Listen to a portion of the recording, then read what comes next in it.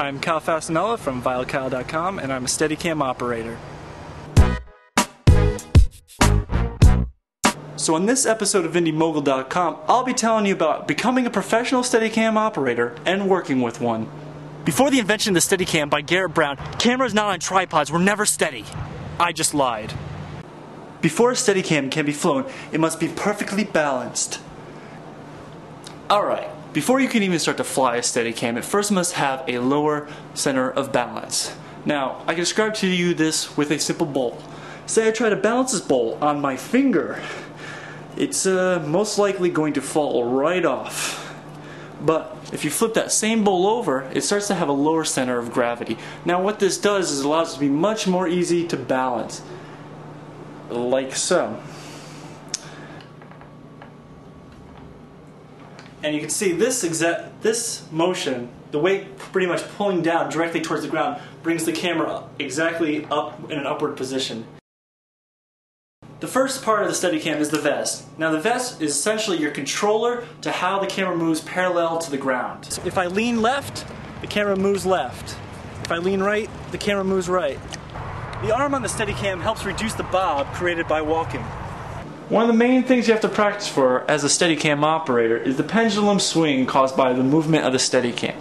For instance, if you go from a standstill motion to forward, the camera is naturally going to move itself backwards. Now, same thing, if you're moving forward and you stop, the camera itself is going to continue to move forward because of the momentum. So it's your hand on the center post that compensates for this pendulum swing. Depending on how much pressure you apply to the part of the center post, you can make it look as if there's no swing whatsoever in the shot. So now let's see this thing in action with some basic Steadicam positions. This is called missionary position. It's when the operator is moving forward along with the camera, which is also pointing forward. This next position is called Don Juan. It's when the operator is moving forward but shooting behind him. Now, a lot of operators hate shooting in telephoto modes because it amplifies the amount of movement caused by the Steadicam. Here's an example of the HVX200 fully zoomed in. Notice the edges of the frame and how much movement there is compared to the wider shots we took earlier. I can jump up and down right now. The camera kind of stays in place. Of course, it's still going to be affected.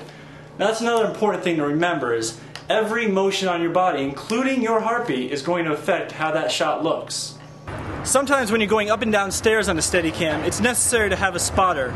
Otherwise, you could die a horrible, brutal death of metal and flesh.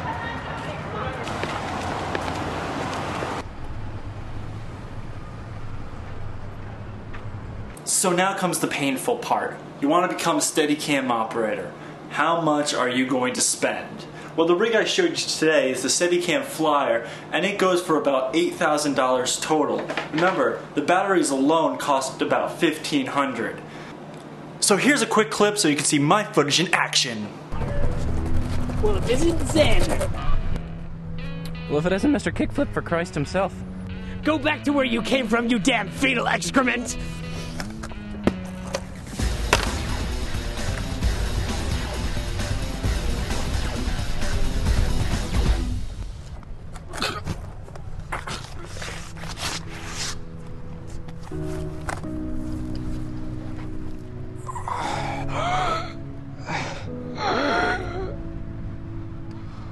I just wanted you to know that I was the stripper you slept with last Friday.